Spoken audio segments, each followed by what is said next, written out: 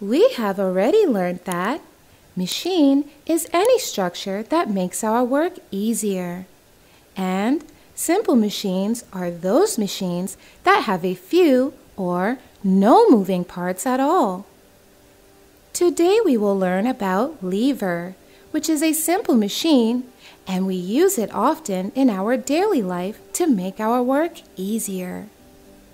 Lever is basically a long stick that you push or pull from one side against a fulcrum in order to move something on the other end of the bar. In order to lift an object by hand requires force. Example, to lift this heavy weight by hand, you require a lot of muscular strength. But we can lift this object without applying much muscular force using a lever, which is nothing but a rigid bar that moves around a fixed support called fulcrum. Object to be moved or lifted is placed on one side of the rigid bar and force is applied on the other side of the bar to lift it. Object can be lifted with much ease compared to lifting the object using muscular force. A lever essentially has three parts effort, load, and fulcrum.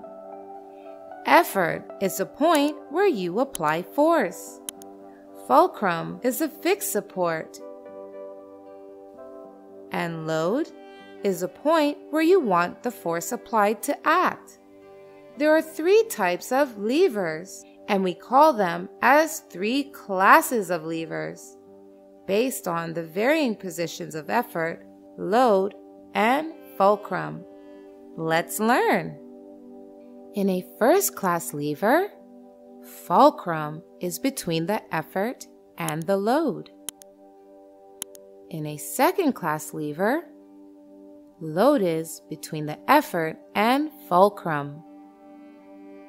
And in the third class lever, effort is between the fulcrum and the load.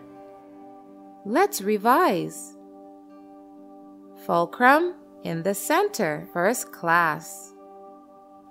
Load in the center, second class. And effort in the center, third class. You need to remember this. Thank you so much for watching. Don't forget to like, comment, and share this video. And if you want to see more fun videos, you can hit that subscribe button. You can also follow us on Facebook and Instagram for more content. Bye-bye!